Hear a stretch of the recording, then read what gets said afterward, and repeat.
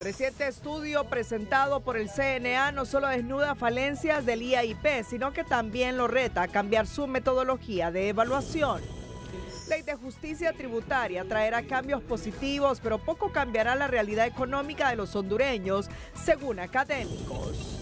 Diputado Jorge Cálix dice que la comisión permanente nombrada en el Congreso Nacional es ilegal.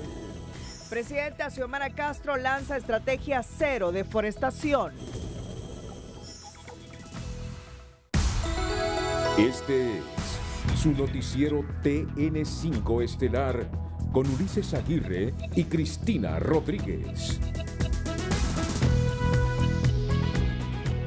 Buenas noches Honduras, me acompaña Ulises Aguirre. Como ustedes saben, nuestro director Renato Álvarez se encuentra de luto ante la irreparable pérdida de su madre, doña Irma Magdalena Vázquez de Álvarez. Y como nos dijo, las noticias deben continuar. Ulises, buenas noches.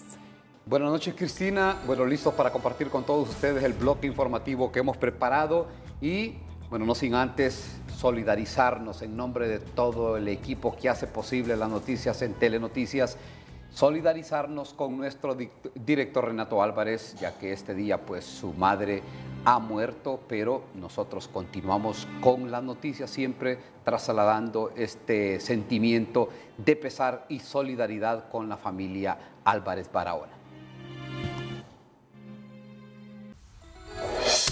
La noticia del día es presentada por Claro. Este decimocuarto de sí claro a un nuevo smartphone incluido en planes postpago desde 26,99 dólares. Este miércoles apareció ahorcado en una celda del Pozo en Ilama, Santa Bárbara, el hondureño Eric Macías, uno de los culpables en el crimen del hijo del expresidente Lobo Sosa. Su muerte ha generado sospechas en vista de que este jueves estaba citado para la lectura de fallo junto a otros dos sentenciados por el caso y expertos en derechos humanos llaman la atención sobre la recurrencia de este tipo de crímenes en las cárceles hondureñas sin conocer resultados a fondo. El privado de libertad Eric David Macías Rodríguez no respondió esta mañana al conteo del módulo de procesado 7 Hogar 108 del Centro Penal de Ilama Santa Bárbara, constatándose su muerte por presunto suicidio por ahorcamiento. Y en este caso la investigación va en dos vías. Una de ellas es determinar la manera y causa de muerte. Esto será a través de la autopsia médico-legal que va a practicar medicina forense y por otro lado también iniciar las pesquisas en torno a cómo ocurrieron estos hechos al interior de este centro carcelario.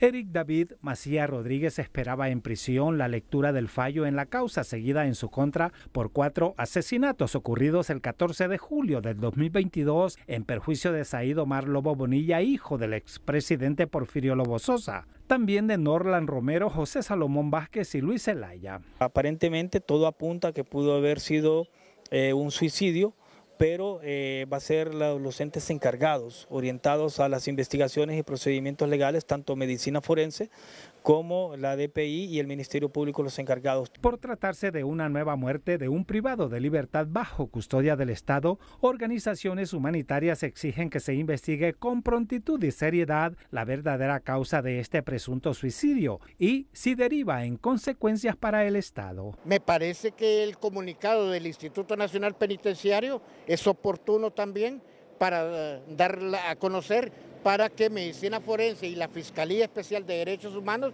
abra un expediente y se pueda determinar si fue el homicidio o fue el suicidio Autoridades del centro penal notificaron del hecho a medicina forense del Ministerio Público, asegurando la escena hasta que se entregó a los peritos de procesamiento de la escena del crimen, mientras se realiza la autopsia correspondiente. Toda la escena ha, sido puesta a disposición, ¿verdad? Tanto del Ministerio Público y los investigativos para que ellos puedan eh, recolectar todas las evidencias necesarias. Dentro de las próximas 72 horas, el Ministerio Público informará de hallazgos y resultados de la autopsia y si de esto resulta una probable acción penal.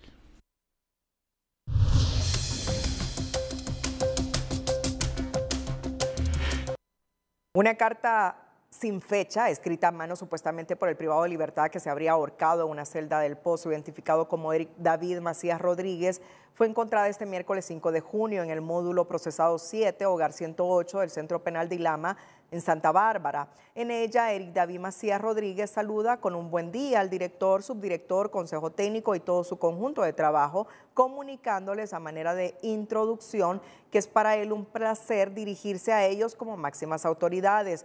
Luego les solicita de por favor que ayuden a borrar supuestamente del registro de visitas a su expareja Laura Nicole Morris Turcios, ya que por problemas de bajos recursos ella ha tomado la decisión de hacer de su vida.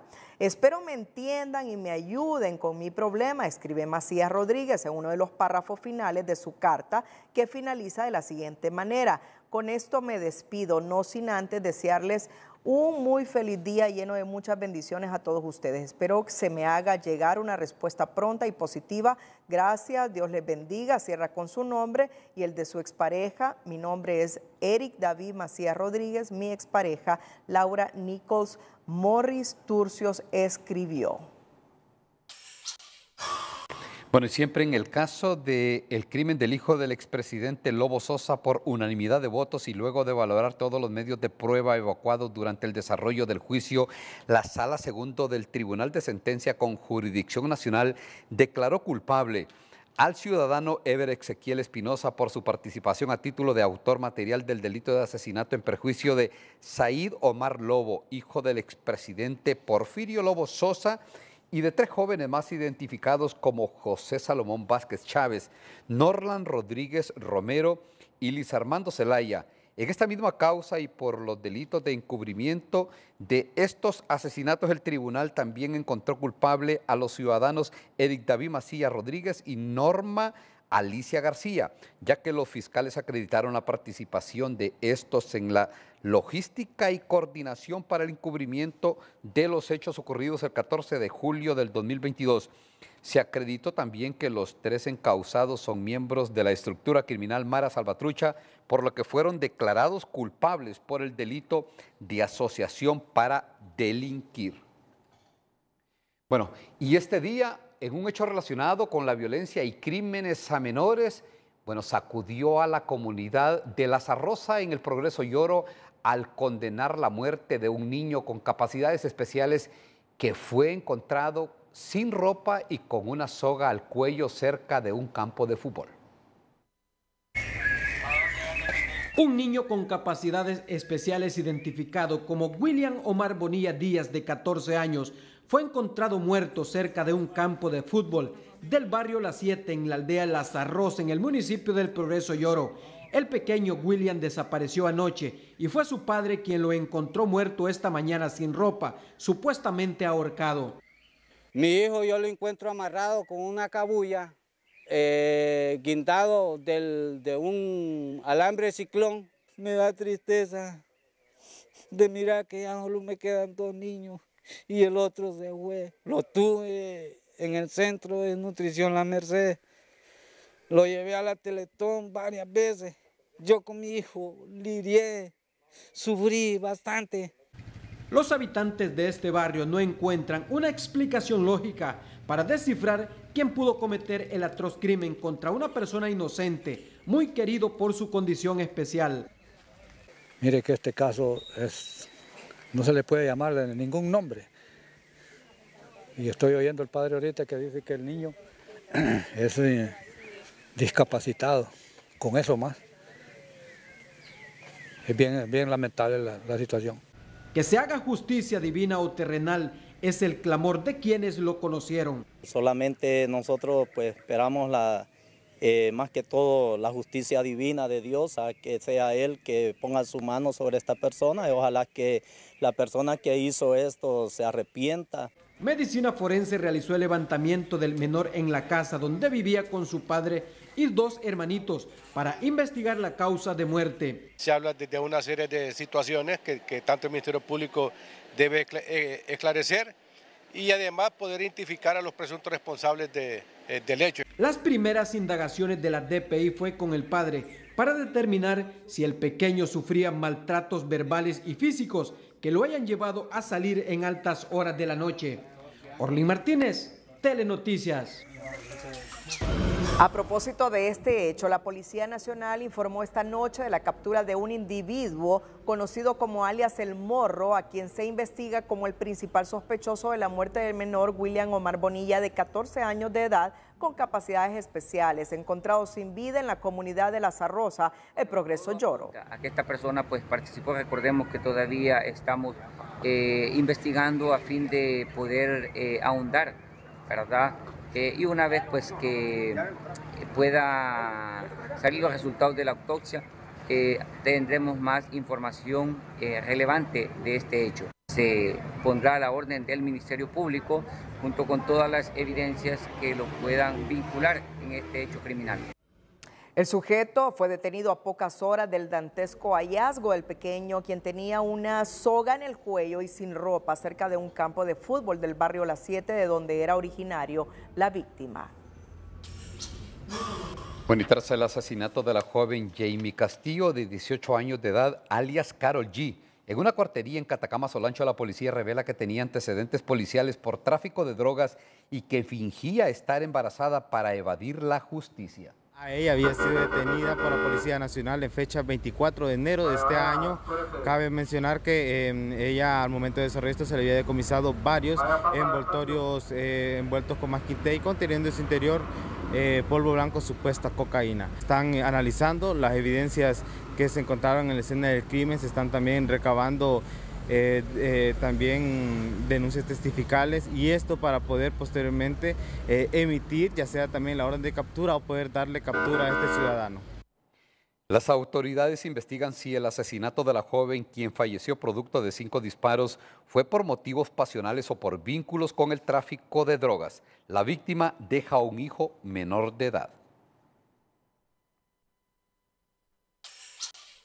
Ante el reporte de una mujer ingresada de emergencia al Hospital del Sur de Choluteca con quemaduras de segundo grado provocado por su suegra al lanzarle agua caliente sobre su cuerpo, la familia de la víctima pide que este hecho no quede en impunidad. Según el relato de su hermano, la joven ha sido víctima de violencia intrafamiliar claro, junto a dos eso, hijos. Hay que proceder, va, porque eso no se puede quedar así, fue un daño muy grande, imagínese, eh, sucedió eso, no digamos si más tiempo ella pasaba ahí a ver qué, qué pudo haber, haber sido, va, otra tragedia, va.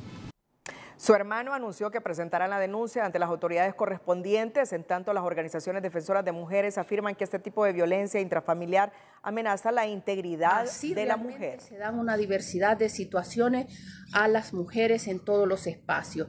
Por eso siempre estamos diciendo a las autoridades, ojo, trabajar en prevención contra las violencias hacia las mujeres, contra la violencia intrafamiliar a las jóvenes, las mujeres y las niñas. La afectada es originaria del municipio de Namacihue, Choluteca, y según el reporte médico, su estado de salud es delicado. Un total de 21 reclusos fueron liberados en la cárcel de Támara por haber cumplido más de la mitad de la pena estipulada. Con ello suman 48 los liberados de un total de 600 privados de libertad que tienen derecho a esta medida según las autoridades. Suman ya 49 los privados de libertad que gozan del beneficio de libertad condicional gestionada por el equipo de defensa legal del Instituto Nacional Penitenciario, que detectó vencimiento de términos establecidos por la legislación penal hondureña. Solo de aquí de Támara nosotros podemos sacar 600 privados de libertad. Imagínense casi es un centro penal de los que están en un lado. Solo de aquí, más como 300 por ahí que tienen eh, vencida ya la libertad condicional, pero que ese trabajo también lo estamos coordinando.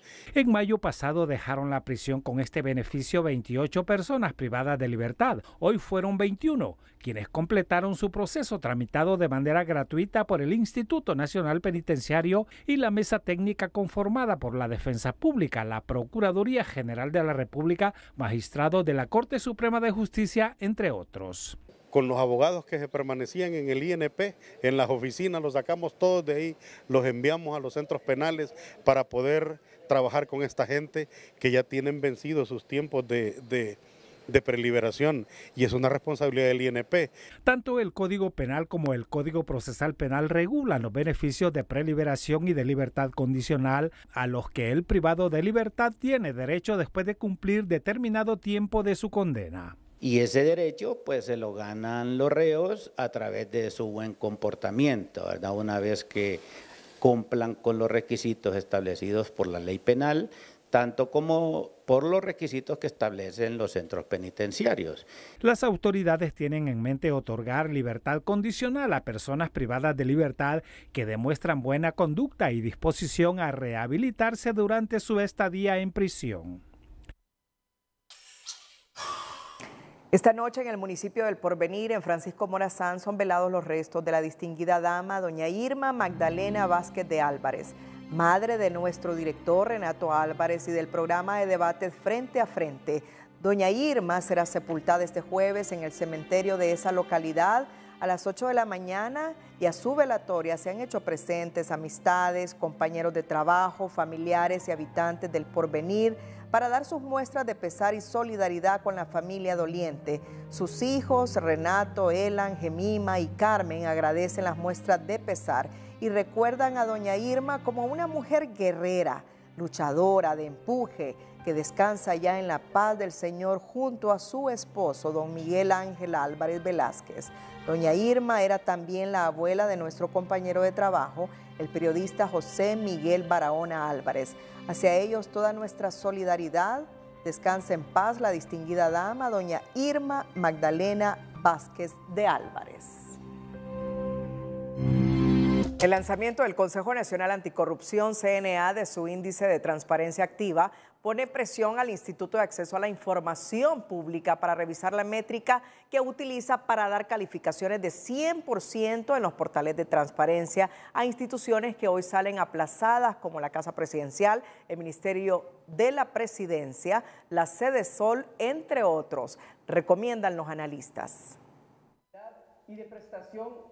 El fresco examen de transparencia del Consejo Nacional Anticorrupción no solo aplaza al actual gobierno, también le mete presión y deja mal parado al Instituto de Acceso a la Información Pública, que premia con 100% a alcaldes, ministros, directores y hasta presidentes. Cumplieron su razón de ser con esa premiación, pero ahorita el informe del CNA lo que está haciendo es desafiando y debería de verse como un desafío a la institucionalidad para revisar eso y decir, ok, ya, le damos vuelta a esto, paramos esto y empezamos con un nuevo proceso que efectivamente garantice que las instituciones están cumpliendo con la ley de publicar en tiempo y forma y con calidad.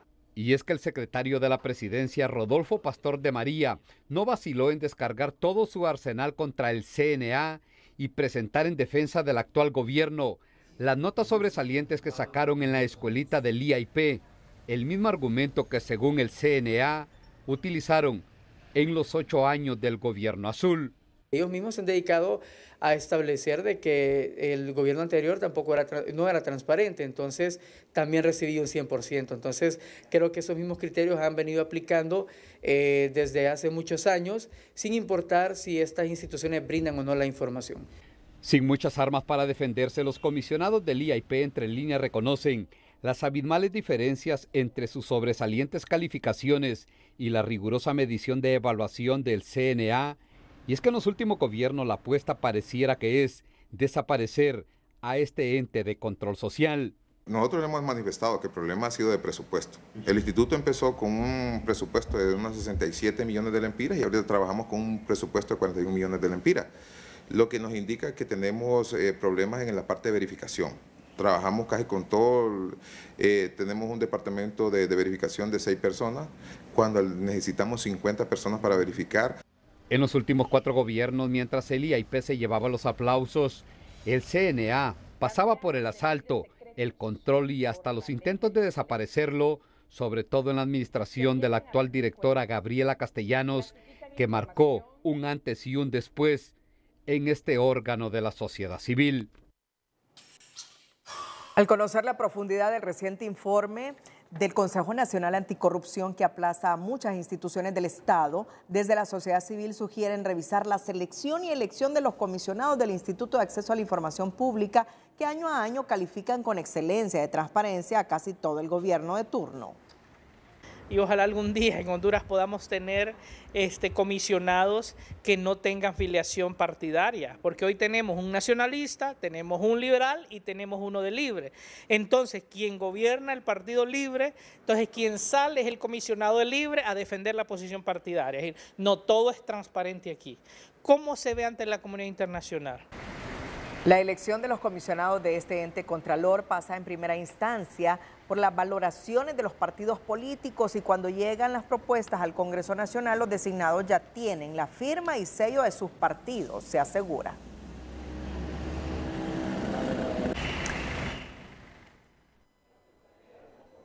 La decisión del presidente Biden de Estados Unidos de restringir el acceso a ese país de los inmigrantes en condiciones irregulares y complicar su petición de asilo ha desencantado a la comunidad migrante hondureña en ese país, mientras el gobierno dice que analiza la medida para definir una posición conjunta con los países afectados.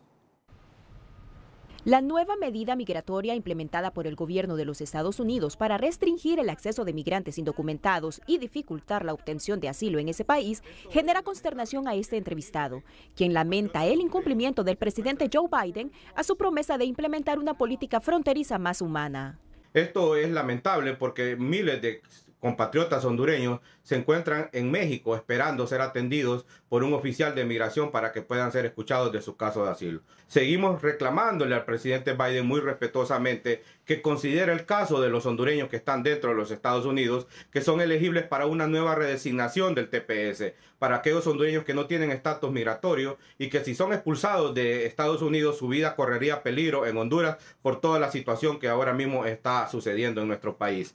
La acción ejecutiva que entró en vigencia este miércoles propone prohibir a los inmigrantes cruzar la frontera cuando se superen los 2.500 encuentros diarios y además contempla impedir que los miles de migrantes sin papeles que llegan a la frontera sur reciban asilo cuando las autoridades consideren que la zona está desbordada. Las únicas excepciones serán los niños que viajen solos, las víctimas de trata o personas con emergencias médicas. Otras implicaciones que tiene es, por ejemplo, en el tema de reunificación familiar, porque muchos de, de estos migrantes están buscando reunificarse con sus familias eh, en, Estados Unidos, entonces eso va a limitar también. Otra situación que se puede dar es el tema de los niños, el tema de los niños que, o sea, recordemos que en, los años eh, los niños han sido utilizados, instrumentalizados para poder eh, ingresar a Estados Unidos porque tienen una acción diferenciada una vez que ingresan a territorio americano.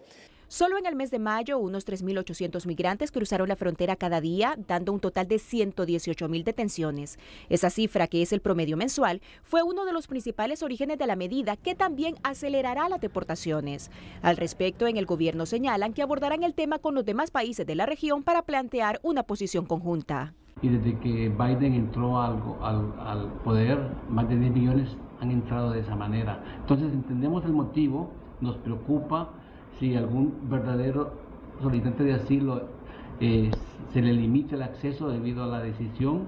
Estamos consultando con México y Guatemala eh, eh, cómo, cómo contestar o reaccionar como región a este problema. La orden ejecutiva de Biden, que llega a cinco meses de las elecciones presidenciales, en las que la migración es uno de los temas centrales, además contempla que los migrantes que no expresen temor de regresar a sus países de origen serían expulsados de Estados Unidos en cuestión de días o incluso horas, y se les impondrá una prohibición especial de cinco años para acceder al país. Gabriela Lobo, Telenoticias. Y en el mundo en TN5, Cristina Rodríguez nos informa que López Obrador prefiere repatriar y no triangular tras anuncio de Estados Unidos de limitar asilo en la frontera sur. Y siempre allí en Estados Unidos, un tribunal de apelaciones suspende caso contra Trump en Georgia y la OMS confirma la primera muerte de una persona por gripe aviar H5H2. El mundo en TN5 es presentado por Carrión, porque en Carrión siempre encuentras los mejores estilos, las últimas tendencias y lo que toda la familia quiere. Nos vemos en Carrión. Tras el anuncio de Estados Unidos de limitar la concesión de asilo en la frontera sur y deportar a México a ciertos inmigrantes, el presidente de México, Andrés Manuel López Obrador, abogó este día para que los migrantes que crucen de forma irregular la frontera entre Estados Unidos y México sean devueltos directamente a sus países tras el anuncio de Washington sobre las nuevas políticas migratorias. Un tribunal de apelaciones suspendió este miércoles el caso de interferencia electoral en Georgia contra el expresidente Donald Trump y otros acusados mientras revisa la decisión de un juez de primera instancia de permitir que la fiscal del distrito del condado de Fulton, Fanny Willis, el Tribunal de Apelaciones de Georgia emitió una orden que impedirá que el juez de la Corte Superior del condado de Fulton, Scott McPhee, avance con las mociones previas al juicio tal como tenía previsto en lo que se resuelve la apelación. El asesinato de un nicaragüense en Costa Rica originó que el gobierno de Nicaragua reclamara un informe policial completo sobre un crimen que catalogó como xenófobo y que ocurrió el lunes en San José, por lo que pidió un juicio justo. Se trata del asesinato de Otoniel Orozco Mendoza, de 53 años, un nicaragüense nacionalizado como costarricense que fue asesinado de 14 balazos por su vecino Eduardo Zamora. La Organización Mundial de la Salud confirmó este miércoles la muerte de una persona en México en el primer caso conocido de infección humana de la gripe aviar H5N2. El gobierno mexicano señaló que era un hombre de 59 años con antecedentes de enfermedad renal crónica, diabetes tipo 2, hipertensión arterial sistémica de larga evolución, residente en el Estado de México y con una variante distinta a la detectada en Estados Unidos.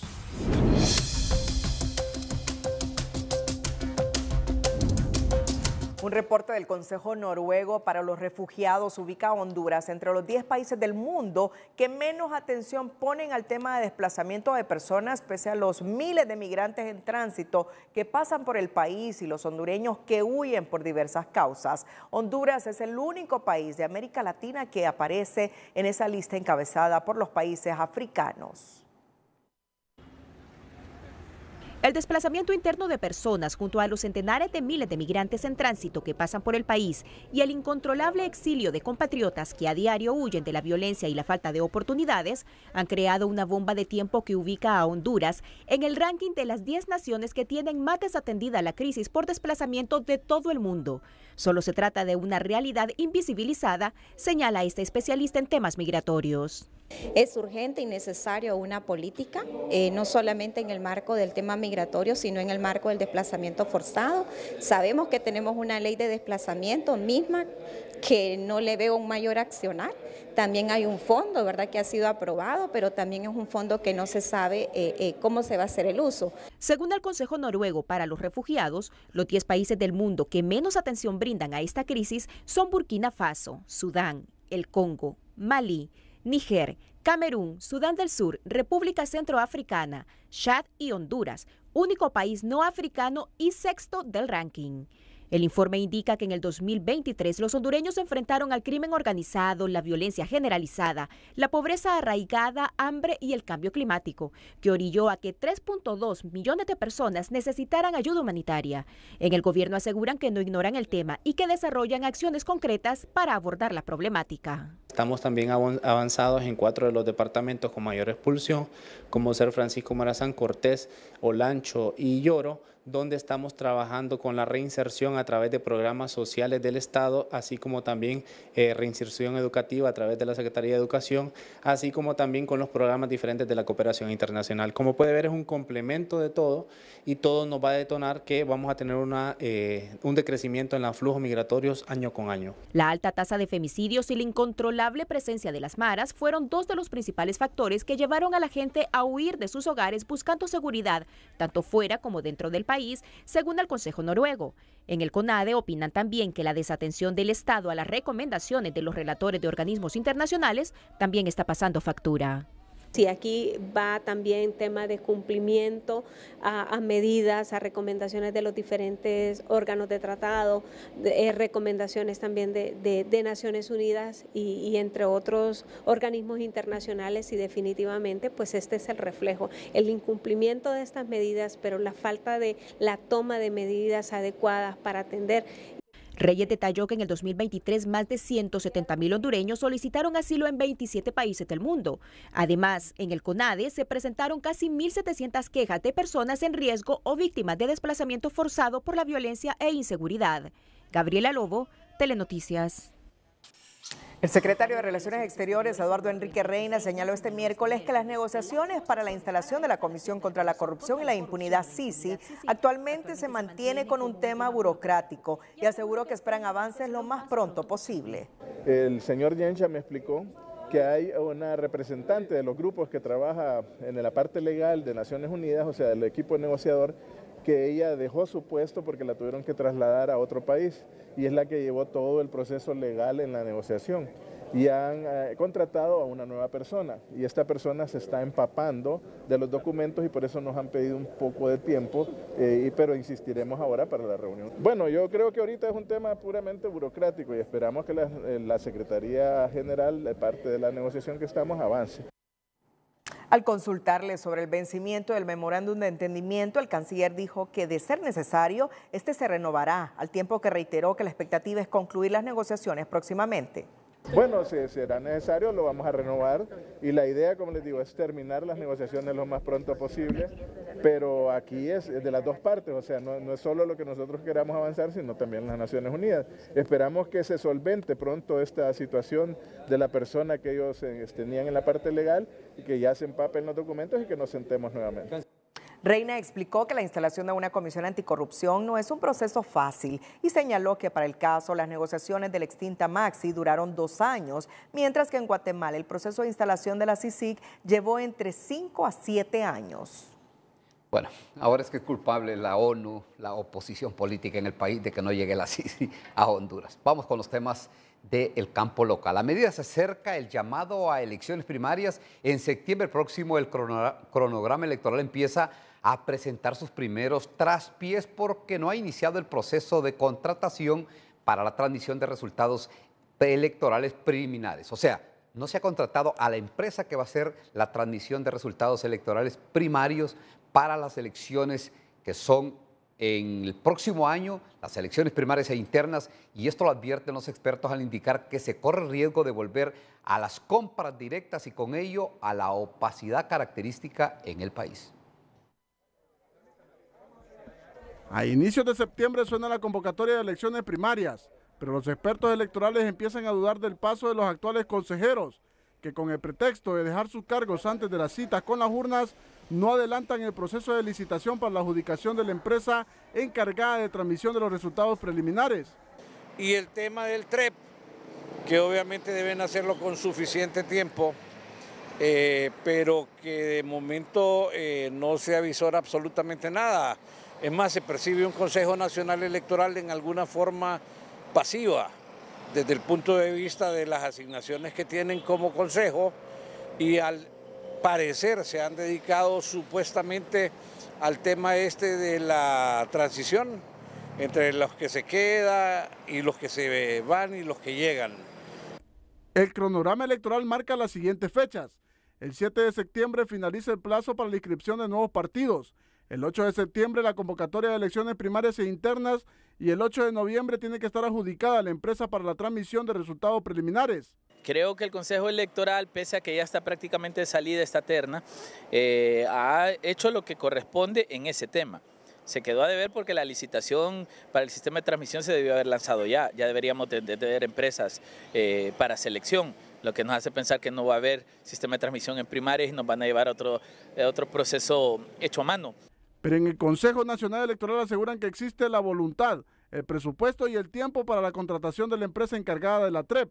Y sobre el tema del TREP, ya el artículo 278 de la ley electoral le manda al Consejo Nacional Electoral que esa adjudicación la haga cuatro meses antes de las elecciones. Esto indica que tendría que ser en el mes de noviembre.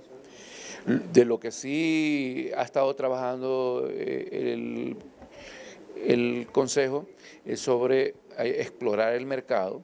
Creo que se, ha hecho, se va a hacer una invitación a todas las empresas, aquellas que estén interesadas, de ver cómo andan los, los precios de, sobre el sistema de transmisión de resultados. Lobo asegura que pese a la rotación de cargos en el CNE, están cumpliendo en tiempo y forma con el cronograma electoral. Sobre el cronograma ha ido caminando, eh, ya están definidos los 29 proyectos con los cuales se va a desarrollar eh, las elecciones eh, primarias e internas, que su convocatoria es el 8 de septiembre. Y sobre esto ya se trabajó también en el presupuesto, ya se remitió a finanzas para efecto de que lo remita al Congreso Nacional, que es el presupuesto, el proyecto es de 1.490 millones de lempiras.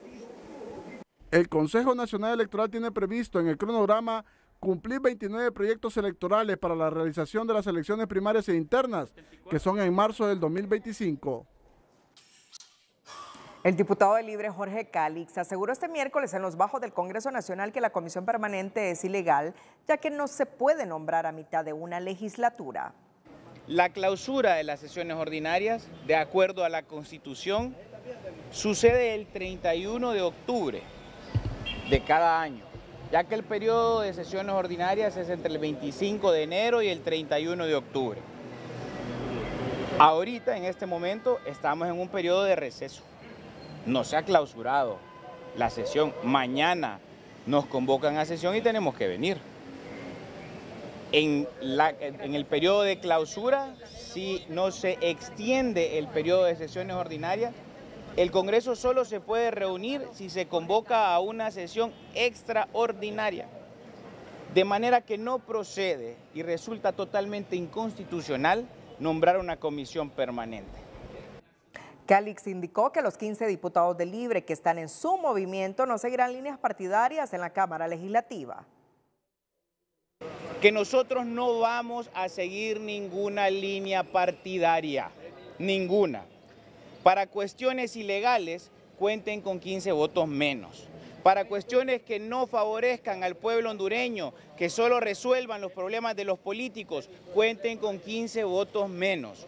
No vamos a avalar ningún tipo de situación ilegal. Calix fijó su postura junto a los diputados que lo han calificado en libre como el grupo de los Calixtos.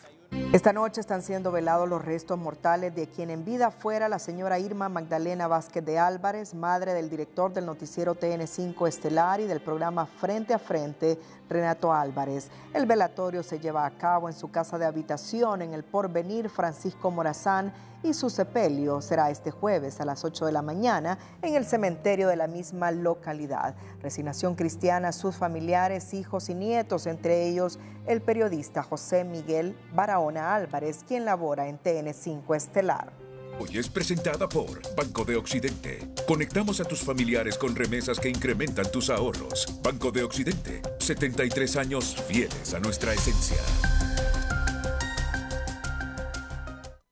Autoridades de la Secretaría de Finanzas anunciaron que a partir de este jueves 6 de junio comenzarán a desembolsar más de 4.100 millones de lempiras por concepto del decimocuarto mes de salario a los empleados públicos en el orden que hayan subido las planillas al sistema de administración financiera. Por otra parte, anunciaron que este día desembolsaron 250 millones de lempiras para otorgar el bono cafetalero a más de 257 mil pequeños y medianos productores para fertilizar las fincas de café a través del Instituto Interamericano de Cooperación para la Agricultura.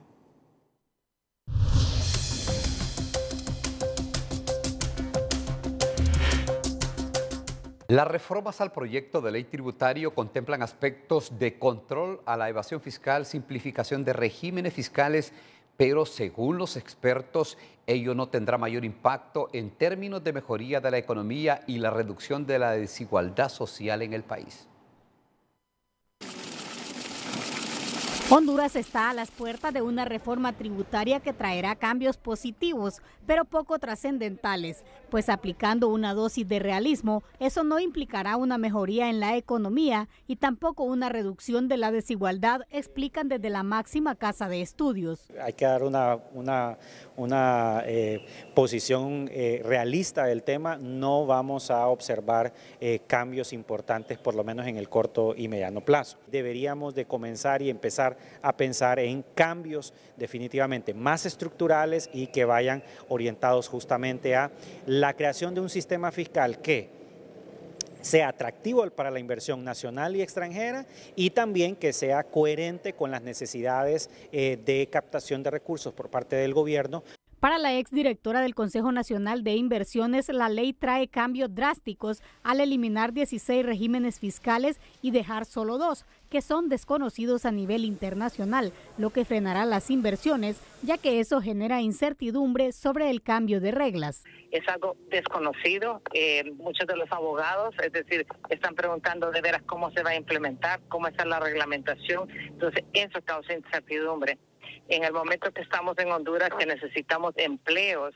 Desde el sector empresarial y sociedad civil consideran que es necesario que antes de aprobar la ley, el Congreso informe qué es lo que se está discutiendo, cuáles son los cambios y si tomaron en cuenta las recomendaciones que se hicieron. Mira, lamentablemente nunca el gobierno y sobre todo el Congreso Nacional nos ha llamado para poder hacer una discusión sobre qué implicaciones tendría la, la salida de la ley de fomento al turismo si se incluye dentro de esas derogaciones que van a contemplarse dentro de la nueva ley de justicia tributaria. Sí escuchamos también las declaraciones que hay muchas de las propuestas de la sociedad civil que fueron tomadas en cuenta. Entonces nosotros lo que esperamos es que se diga cuáles se tomaron en cuenta y cuáles no. Y las que no se tomaron en cuenta, ¿por qué no se tomaron en cuenta? Miren, esto es construir país. Según la Comisión de Dictamen del Congreso Nacional, se han incluido 32 cambios a la propuesta inicial enviada por el Ejecutivo y esperan tener los 65 votos para aprobarla el próximo mes de julio.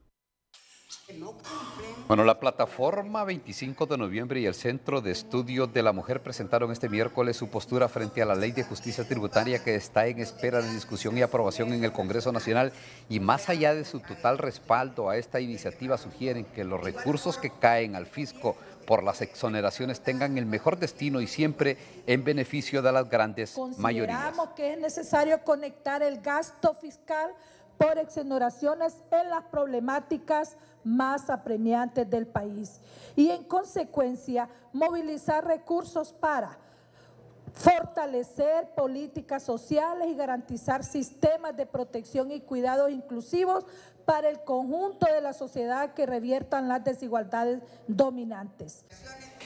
En este evento las mujeres organizadas y no organizadas lamentan y reclaman que mientras ellas mendigan pedazos del presupuesto público para tener acceso a la justicia, protección de la vida, crédito, acceso a la tierra, salud, educación y cuidados integrales, a otros grupos de privilegio los exoneran y benefician con regímenes especiales para no pagar impuestos.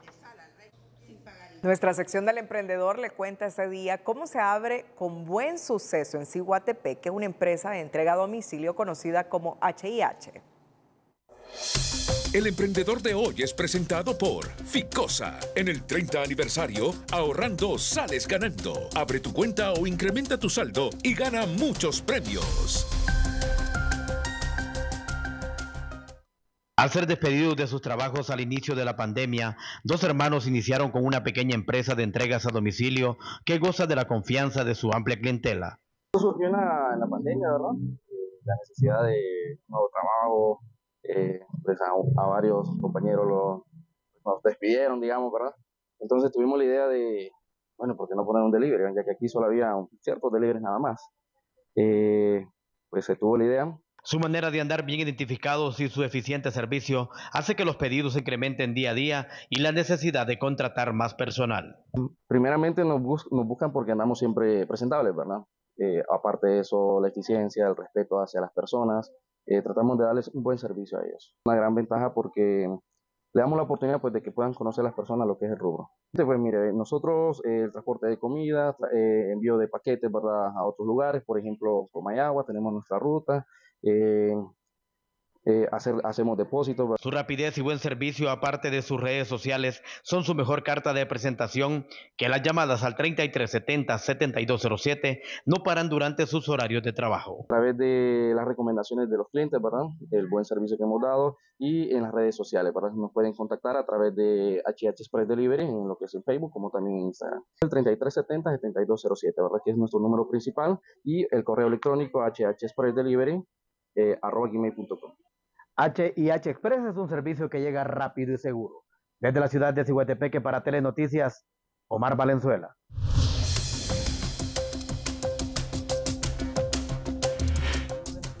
La desaceleración registrada en la actividad productiva durante los últimos meses indica que la economía hondureña registrará un crecimiento menor al del año anterior, advierten los expertos económicos de la Universidad Nacional Autónoma de Honduras a proyectar un crecimiento máximo de 3.5% para el cierre del año.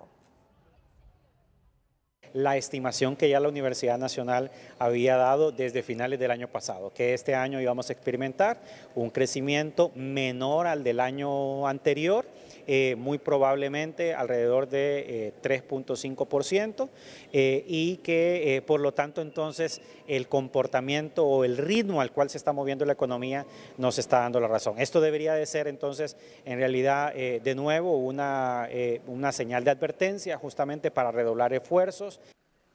Según Matamoros, es importante que se tomen medidas anticíclicas para impulsar sectores productivos que pueden dinamizar la economía, ya que el crecimiento que se registra es insuficiente para generar nuevos empleos y reducir los índices de pobreza en el país.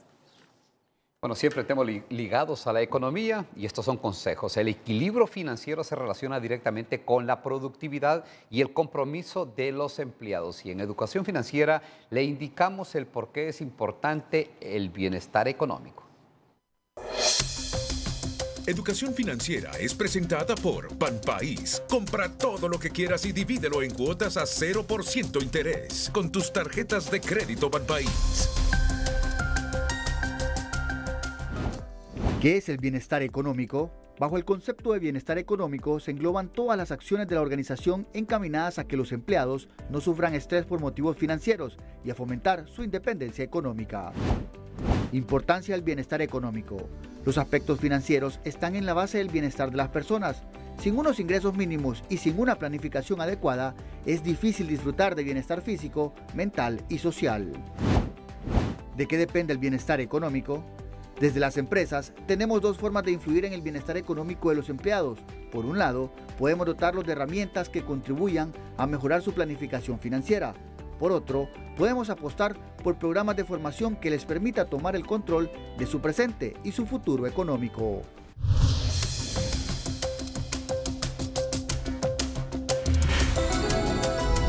Es tiempo de nuevos consejos comerciales, pero al retorno el dengue sigue poniendo a correr a la Secretaría de Salud. Detalles en breve. Pero antes, la altruista labor del sacerdote español Matías García González es un ejemplo de amor al prójimo. Con el apoyo de feligreses han fundado una panadería con la que buscan recaudar fondos para la ejecución de un proyecto que sin duda será un gran legado. Es nuestra nota positiva de este miércoles. La noticia positiva es presentada por Fotón con su Fotón Spring Sale. Calidad mundial a precio local. Distribuido por Invesa.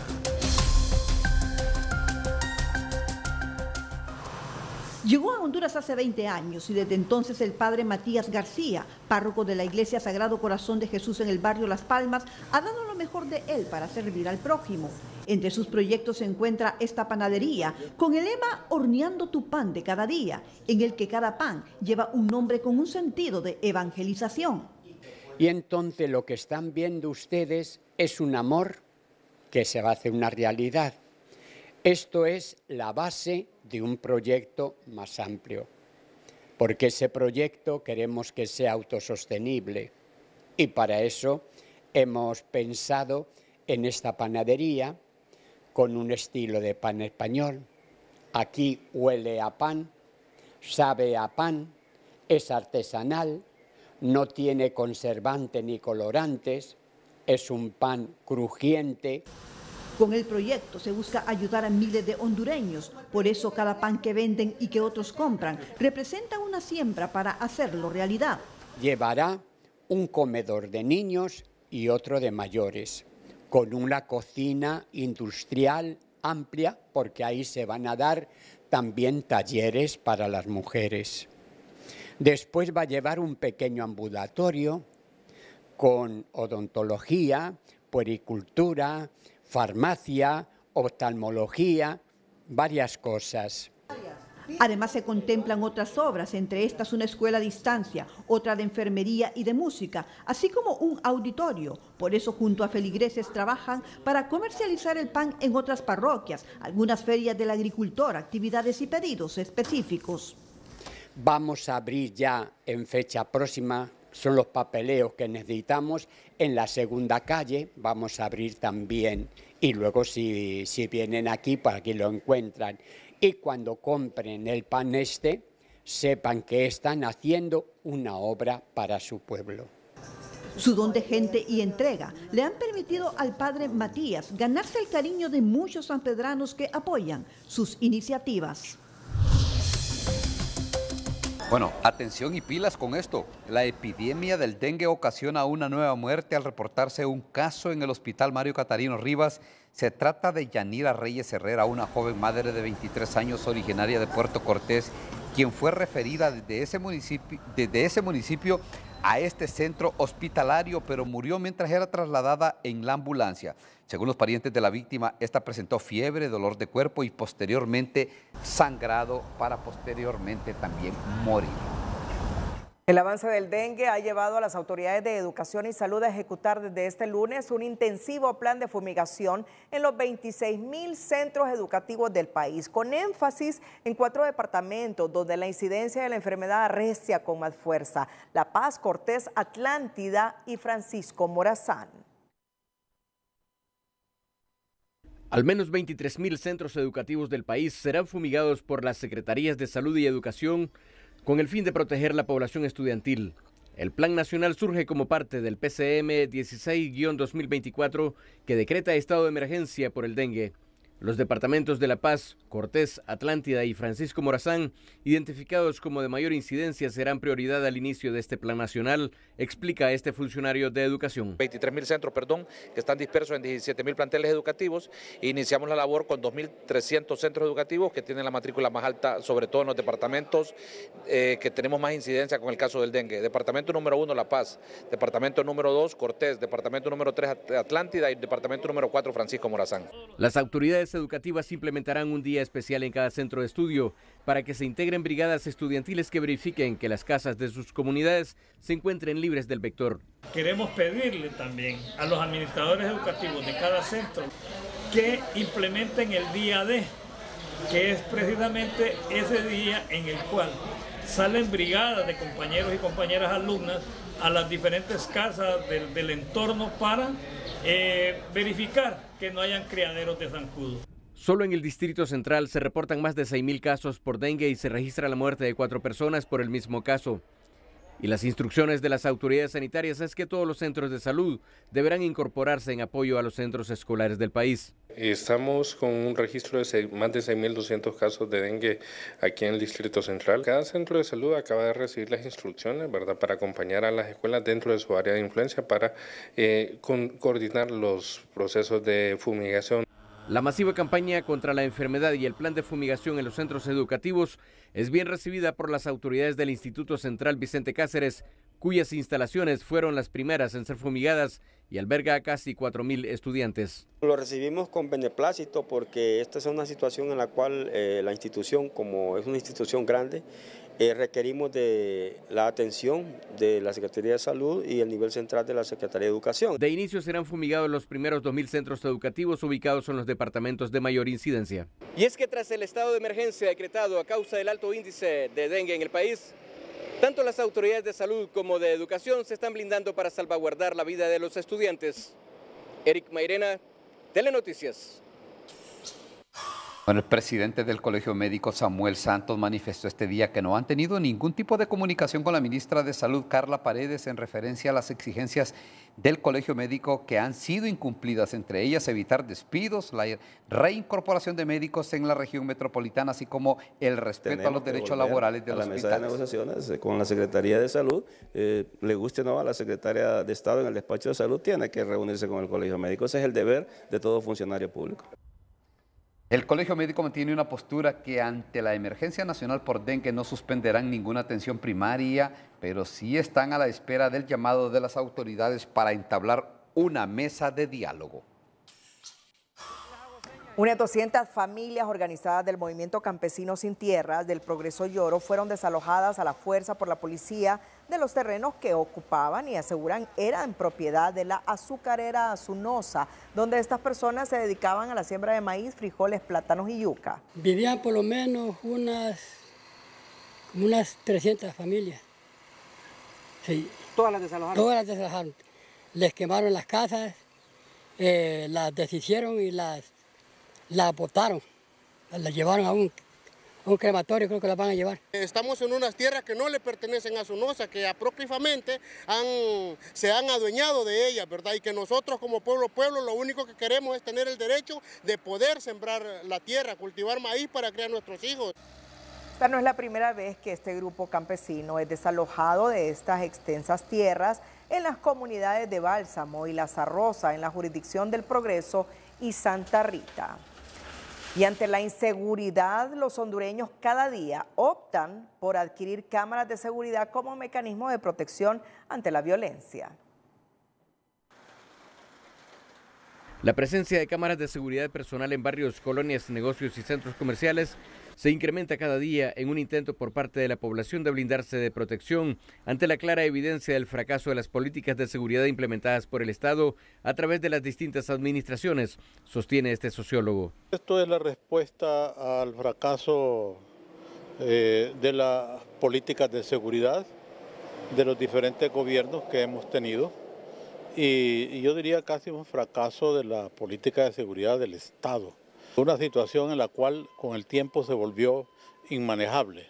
Entonces hoy estamos viendo la política de salves el que pueda. Las cámaras de vigilancia se han convertido en un recurso técnico disuasivo contra la delincuencia, pero debería existir interconexión con un sistema de seguridad estatal que brinde información y protección inmediata a la ciudadanía, afirma este general en retiro. Es un recurso técnico de mucha utilidad.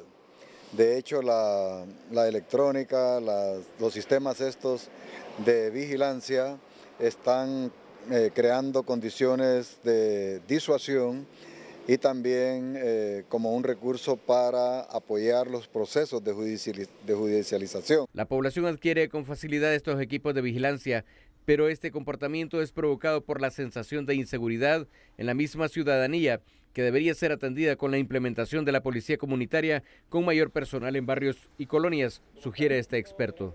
Lo que hay que hacer es la contratación del recurso humano eh, que, que, vaya a brindar tareas de seguridad ciudadana y también eh, la eh, seguridad comunitaria o la policía comunitaria que levante insumos, ¿verdad?, para que estos se materialicen en políticas públicas y puedan eh, ser conocidas e implementadas. Las cámaras de seguridad de protección residencial son un disuasivo contra los delincuentes y de apoyo a la policía al momento de recopilar datos. En otra información, la presidenta Xiomara Castro presentó este miércoles la estrategia Cero Deforestación al 2029, un plan orientado a cuidar los bosques que contará con un presupuesto de 19 mil millones de lempiras en los próximos cinco años. Asimismo, contiene un reglamento que fue expuesto por la mandataria del orden público y la Policía Nacional tienen órdenes claras para que en el plazo máximo de 45 días en las zonas núcleo procedan al desalojo de las actividades que están destruyendo el bosque y los ríos, con proyectos de explotación irracional de los recursos naturales, urbanizaciones. El anuncio tuvo lugar en la laguna del Cacao, en Jutiapa, Atlántida, hasta donde se trasladó acompañada de los funcionarios que rectoran las instituciones del sector ambiental y defensa. Buena parte del territorio nacional debe esperar lluvias este jueves, pero vea usted los contrastes de la naturaleza, al menos en tres departamentos del país, ahí se registrarán altas temperaturas. El estado del tiempo es presentado por Óptica Matamoros, Twinpack PLC, dos pares de anteojos monofocales Blue Light Control. Óptica Matamoros, el placer de ver bien. Hola, ¿qué tal? Feliz Día del Medio Ambiente. Y mire con qué escenarios. Justamente la Laguna Magdalena en Guatemala, que tenía esta agua azul turquesa, cambió a esto Hoy pues llegaron algunos turistas y ¿con qué se encontraron? Con que se secó completamente producto de la prolongada sequía y pues el calentamiento global que está teniendo su impacto. Hoy precisamente la Organización Meteorológica Mundial ha dicho lo siguiente, que hay un 80% de probabilidades de que el planeta siga calentándose en los próximos cinco años y por encima de los 1.5 grados de la era preindustrial. Por eso es que yo he venido insistiendo, diciendo que estamos viviendo el verano más frío de los próximos cinco años. Ahora me entienden. Bueno, miren lo que está pasando en México, en Veracruz. Cantidad de capa forestal quemándose por los incendios forestales y las temperaturas elevadas récords en México. Lo mismo está pasando en Galilea, Israel la verdad es que todo el planeta es un caos. En algunos sectores inundaciones, en otros incendios forestales, en otros sequías prolongadas y nosotros pues con posibilidades de más lluvias para esta próxima jornada, que son bendición estas lluvias después de una larga sequía, pero en algunos lugares como la capital de la República causando, pues ya vimos algunas inundaciones. Así ingresará para la próxima jornada esta cantidad de humedad, producto de un canal de humedad que se extiende desde el Caribe hacia nuestras latitudes y buena parte del territorio hondureño tiene posibilidades de lluvia para esta jornada jornada de jueves. Así que, pues, tomar precaución a las personas que viven en zonas vulnerables. Mientras las temperaturas en San Pedro Sula, La Lima, El Milagro, Villanueva, acercándose a los 40 grados, incluso en Negrito Lloro, hay unas cercanías 41. Eh, otro punto, Nuevo Celilac, Santa Bárbara, con 41. Todos estos sectores están con anomalías de temperaturas altas, no han superado esto de las temperaturas. Mientras para la próxima semana estamos proyectando en los primeros días la posibilidad de una baja presión con un poco de desarrollo. Por ejemplo, lo que apunta a un modelo, pero vamos a ver qué pasa. Lo que está garantizando que las lluvias van a continuar y van a arreciar en el territorio hondureño. A cuidarse mucho, siempre le queremos como televidentes, sino como noticia. Que la pasen bien.